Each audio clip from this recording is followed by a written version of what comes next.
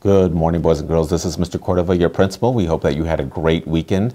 We had a holiday weekend. Monday was Labor Day, so we had three days off. Hope you got a chance to enjoy your extra day. So today is Tuesday, September 6, 2016. And I got a chance to see many of those wonderful, wonderful outfits that you're wearing today and big smiles for picture day today. So everybody is ready for picture day. We'll be taking pictures at the multi-purpose room throughout the day, throughout the morning. So let's get prepared for that. Tomorrow is Wednesday, our communication day. Please make sure you take your communication folders home. Share with your parents. It's also our early out Wednesday. Grades 1 through 6 are dismissed at 1.30.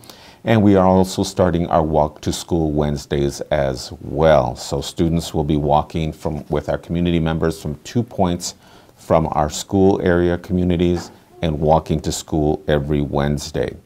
And Thursday and Friday look pretty clear, so it looks like a very good week that we have for this week. Lots of learning going on.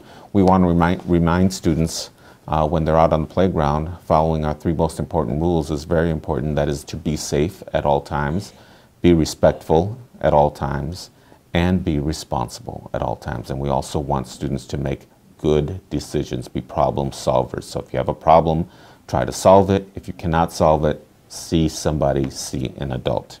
That is about all our news for today, boys and girls. Let's make it a great day, a great day for learning, and it's always a great day to be a Limbach Lion.